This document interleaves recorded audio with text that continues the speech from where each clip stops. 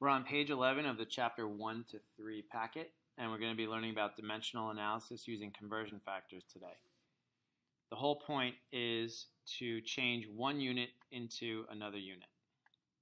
Now, what I'm going to be showing you is basically a tool that you're going to use in your chemistry tool bucket. You need to learn how to use this tool, and then in the future, it'll be up to you when you want to use it. We all agree that one minute equals 60 seconds. This is actually not just a verbal statement, but a mathematical statement. It really says 1 times minutes equals 60 times seconds.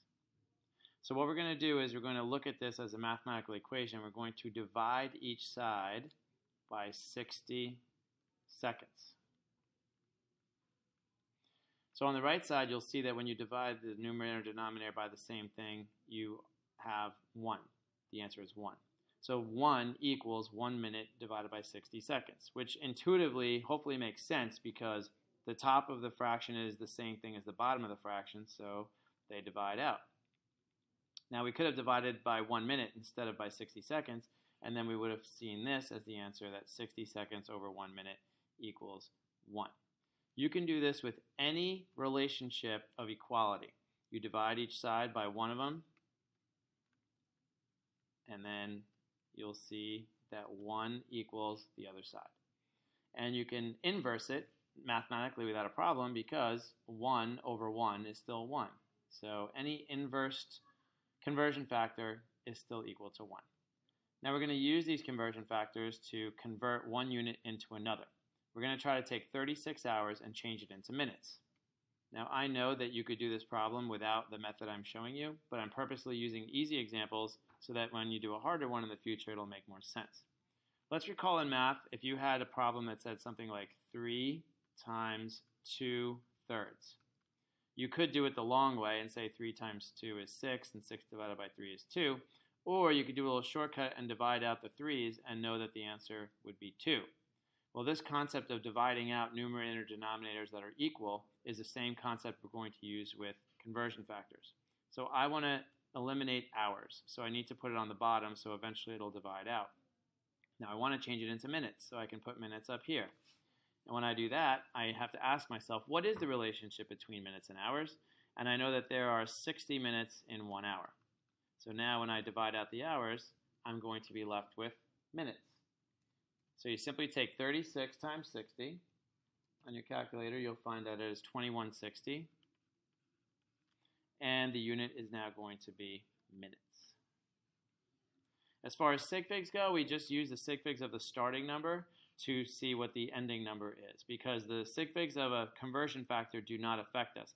This is not a measurement that we made, this 60 minutes over one hour. This is a definition. This is an exact number. So it's not a measurement that we're making.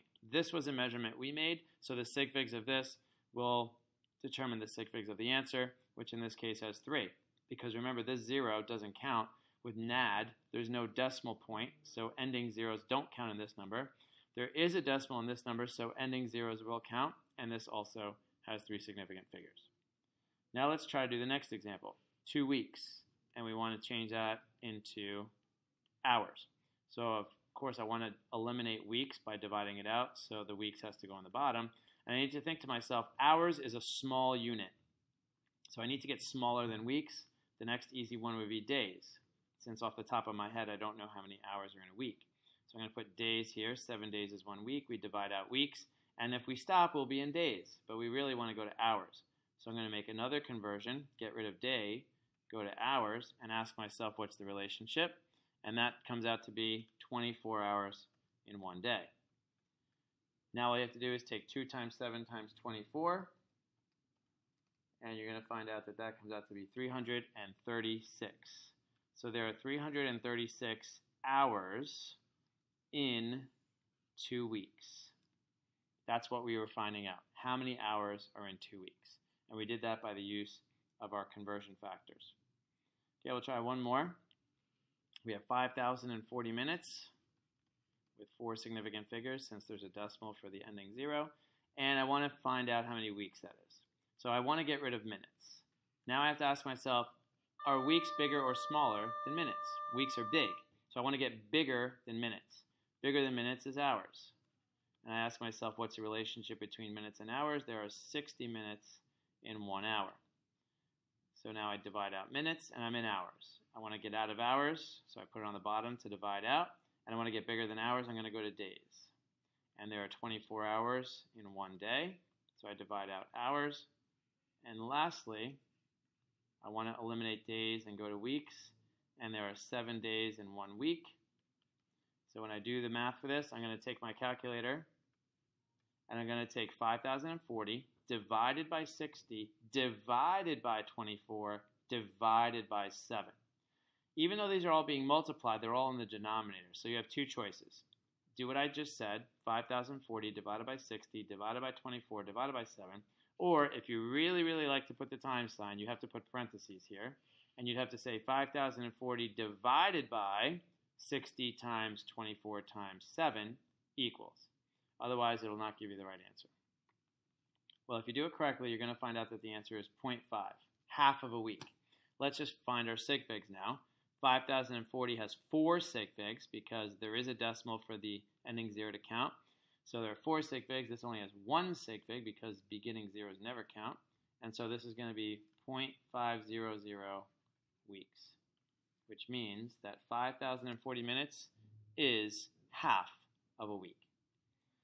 Let's review one more thing about this. The whole point of this is to convert between one number and unit to an equivalent number and unit.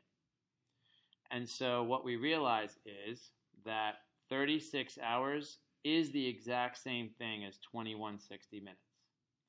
And two weeks is exactly the same thing as 336 hours. And what also makes sense is that the number 36 is smaller than the number 2160, but the unit of hours is bigger than the unit of minutes. So when you have a small number, you'll have a larger unit, and when you have a large number, you'll have a smaller unit in the equality. Again, weeks is a large unit compared to hours, but 336 is a large number compared to 2. And lastly, 5,040 minutes is the same thing as half of a week. If you have a large number with a small unit, it's the same thing as a small number with a large unit. So the moral of the story here, you would treat numbers, I'm sorry, treat units as you would treat numbers. You can divide out units just like you could divide out numbers, and units are your friends because units tell you how to do the problem the units told you that you need to put minutes on the bottom and hours on the top. And then the units told you to put hours on the bottom and days on the top. And then the units told you to put days on the bottom and weeks on the top. And they also told you where to put the 60, 24, and 7 because you understood that 60 minutes is equal to one hour, etc. So the units are your friends in these problems.